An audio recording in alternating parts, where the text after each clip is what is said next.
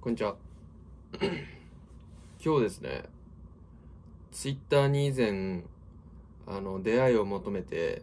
あの、出会いを求めてる女性に対して、あの、DM を送ったんですね、僕は。なんかもう、マッチングアプリとかいうものにお金を使いたくねえなと思って、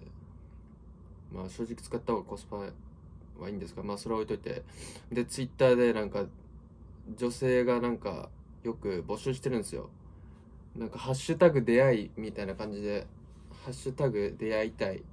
みたいな感じでツイッターで検索すると、あの、結構たまにちょっとだけ出てくるんですね。で、僕はそれで、あの、あるとある女性にメッセージを送りまして、そしたらです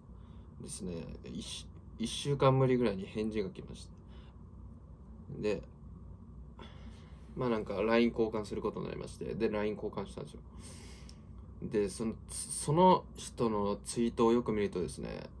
よく見る、なんか明らかにおかしいんですよ、なんか。うん、なんだろう。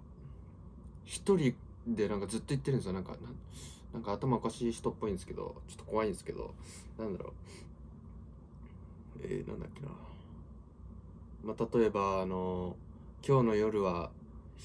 一人で寂しいなとかあと、うん、なんかいろいろ書いてあったんであとなんだっけな。出会いえっと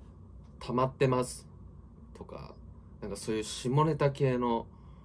なんだろう男を求めてます系のツイートが大量にしてる大量にしてあってで全てのツイートに「いいね」1個もついてなくて大体そういうツイートってなんかいいめなんか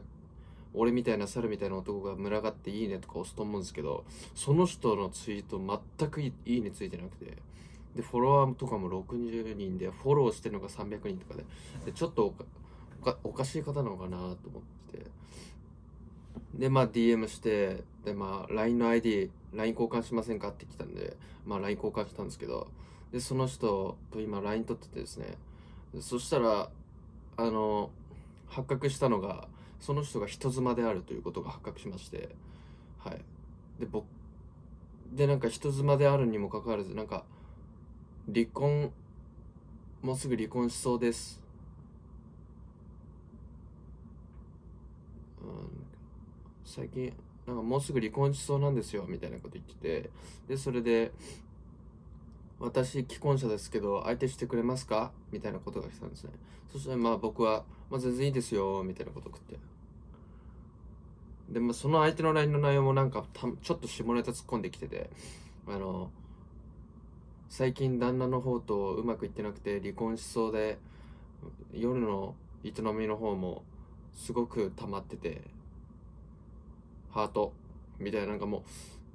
あと絵文字とかもちょっとちょこちょこ入れてきてでその人の年齢25歳なんですよ。であの、絵文字とか結構入っててなんか昔のババアみたいなガラケー時代のババアのやつらババアのして昔のガラケー時代のあのちょっとうん僕の親世代みたいななんかメールの感じでちょっとなんかちょっと引いてるんですけどでしかも下ネタ言ってくるしまあ、ちょっと引いてるんですけど、まあ、それでなんか、来週あたり会いませんかみたいなこと来て、で、いいですよ、会いましょう。みたいなことを送って今終わってるんですけど、まあ、ちょっとね、僕人妻と会うっていう時点でちょっとやばいのかなと思。うん。俺浮気相手やん。あったら。いや、会うだけなら大丈夫だと思うんですけど、それで会って何かやっちゃったら浮気相手になっちゃうんで、これはちょっと重要ちょっと考えなきゃならないですね。しかも相手の方ちょっと頭いいっちゃってる風なんで、まあ、顔もわかんないしよく。うん、でちょっと、あまあ、会う約束して、とりあえず会って話して、で、ちょっとやばい感じだったら逃げます。はい、まあ、やばくない感じも、まあ、浮気になっちゃうんで、まあ、これどうする？浮気になっちゃいますよね、これ。浮気相手になっちゃうんで、僕が。まあそれはあってからのお楽しみということで。まあそれは後で考えます。ありがとうございました。